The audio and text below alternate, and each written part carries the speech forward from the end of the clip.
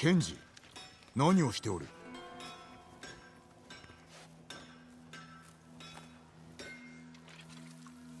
酒井様祈りが通じました。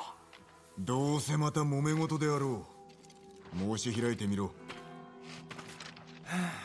実は賊に金を借りたんです。肉屋のゴンに。返せばよかろう返します返します。でもおかしなところで落ち合うことになっちまって足の喉をかっきる気なんですよ。こたびは何をしでかしたのだ？酒と薬をちょこっとだけ高く売ってその金で伊豆原から人を逃がしただけなんですけどね。気づかれました。人助けはせめんがやり方を変えろ。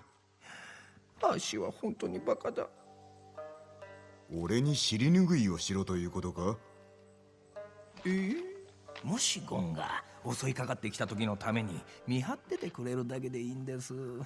下手に出てきてもらっちゃ足が恨まれちゃいますから。お前も考えたようだな。こたびは。手を貸そうありがたや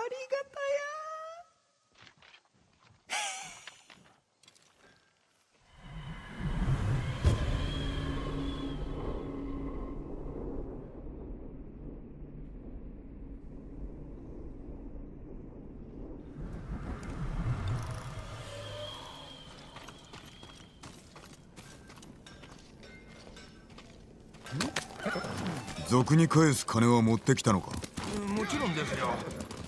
ゴンはこの近くの橋で待っております。案内を。揉め事は毎度のことですが体がブルッと震えてきました。震えを収めたいか？嘘をつかないことだな。最初の嘘は咎められなかったもんですから。何度ゴンを騙したのだ？3度どうやってその肉屋と知り合った？以前血まみれ太郎に借りがありましてちょうどその時ゴンが酒を欲しいと言いましてね。それで安酒を高く売りつけて太郎に無事金を返したんです。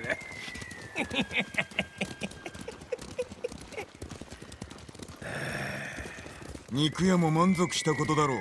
気づかれなかったんですよ二度目はとっちめられちまいましたけど。血まみれとやらはどうなった？それが奴から酒を買ったってゴンに嘘ついたら血まみれをやっちまったんです。世話しない男だ。そうなんですよ。厄介に巻き込まれてばかりで。身から出たサビというものだ。顧みるべきだな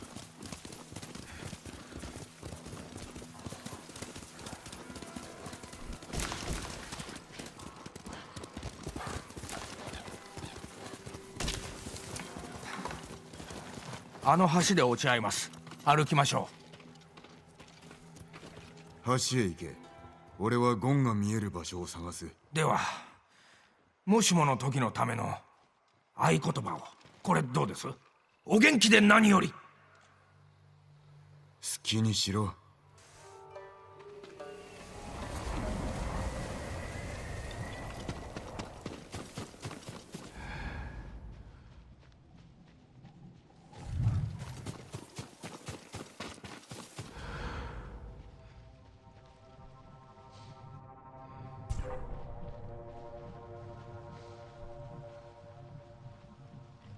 あ賊だ。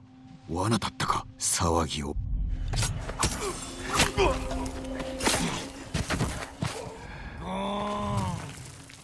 なんでまたこんな変な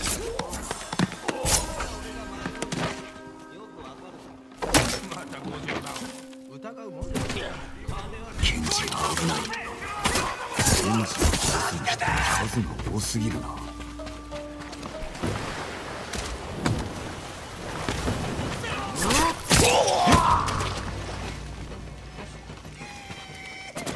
酒井様早く助けに来てください。何をのんびりしてるの。早く来て。ですから。ああまだ死にた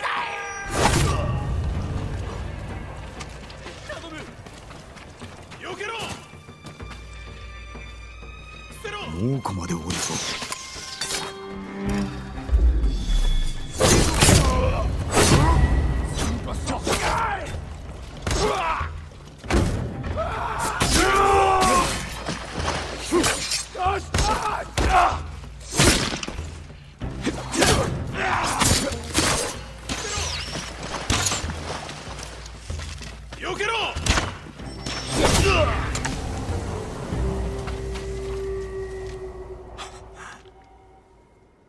また借りができてしまいました。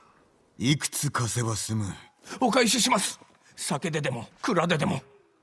それとも検事なぜせんなきことに命を賭すのだ？船内なんて全ては飯と金と寝床のため。お前はタカを救った上薬も配っておるではないか。あ あそんな褒めないでくださいよお前には才があり対馬を救うために力を尽くしてくれ。